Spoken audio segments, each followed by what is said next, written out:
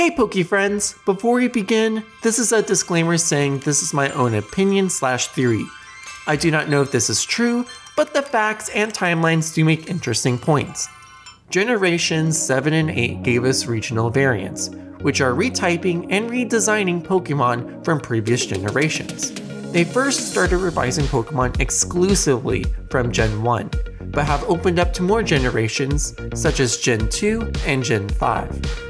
Some people say these redesigns are new gimmicks of the franchise to make old Pokemon fans, Gen 1ers, actively interested in Pokemon again.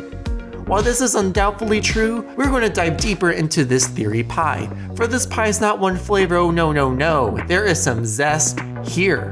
Before we begin, don't forget to like and subscribe. Let's start off with the biggest and main ingredient of this pie a broken type meta, specifically for the first generation of Pokemon.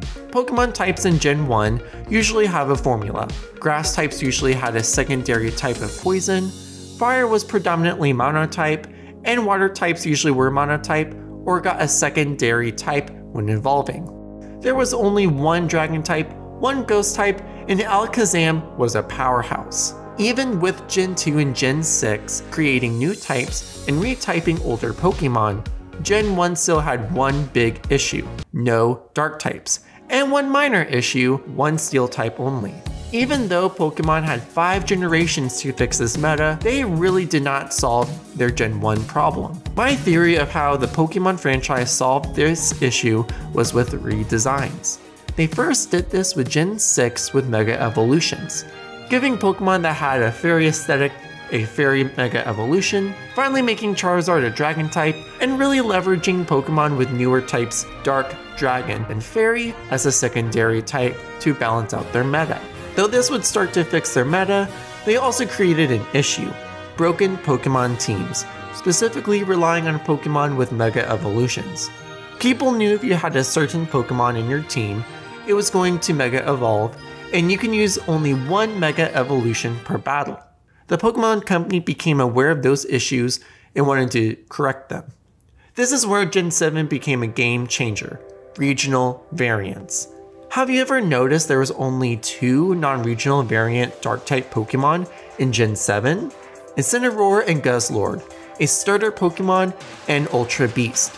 Yet we remember so many Dark types.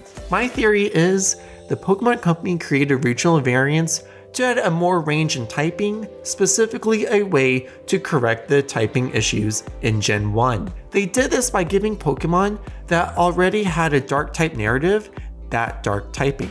Look at Meowth! Meowth had already been the evil villain with Team Rocket and the cat mouse narrative with Pikachu, but Meowth was a normal type. In Gen 5, they added the Purrloin line, which is almost a one for one with the Meowth line, but they made it a dark type. Now they finished what they started and made a dark type Meowth line. Along with that, Fairy, Steel, and Dragon typing. Look who joined the party! Alolan Ninetales, Alolan Dugtrio, Alolan Exeggutor, you get the idea. They were rewriting their meta wrongs with regional variants. Now for the first seasoning on this theory pie reviving forgotten Pokemon, and creating thematic designs. It has been mentioned Darwinism has been an inspiration with the regional variants, and adds lore to these Pokemon and regions, which is fun and creates such amazing fan art. But my theory is the Pokemon franchise has taken this one step further and are choosing to redesign Pokemon once were overlooked or forgotten. Marowak was just a ground monotype before Gen 7, now being Fire Ghost and being redesigned as a Fire Twirler, referencing Hawaiian culture. The ghost typing can easily be referenced with the Cubone lore, an orphan wearing its mother's skull. Same thing with Raichu, gaining a secondary type Psychic, and being Surfing, which is a franchise reference of Surfing Pikachu, along with surfing as being a sport and activity in Hawaii. It is easy to say these Pokemon were very forgettable, but now have a place in the meta type-wise. This also gives the Pokemon Company a chance to redesign Pokemon and add more features to them, such as hair or body extensions, and really connects Pokemon designs with regions inspired by international locations. This can be applied to Gen 8 with Sirfetch'd, Obstagoon, and so many more Pokemon. Which is amazing and something that I hope happens in future generations. The second seasoning, which the fandom murmurs are going to be louder and louder with Gen 8 or Gen 10, reaching 1000 plus Pokemon entries. It's insane to think over 25 plus years we have such a plethora of Pokemon and we're going to be approaching 1000 soon.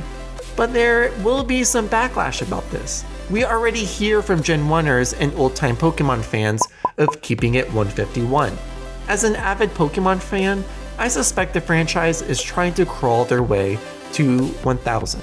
We see each generation of Pokemon with less and less new designs, after Gen 5, with Gen 6 being the lowest number of new Pokemon. My theory is the Pokemon Company is using regional variants as a means to add new designs to the franchise while avoiding the 1000 entry implosion. But what will happen when we get to the 1000 entries? Does anyone know? Does anyone care about reaching 1000 Pokemon? In conclusion, regional variants was the recipe created and served to fix issues that were not seen when the franchise started. By giving Pokemon two regional forms, we started to expand on the Pokemon teams and ways to play Pokemon and connect with people in the Pokemon community. Thank you for watching this video. Do not forget to like and subscribe, and I will see you in the next one.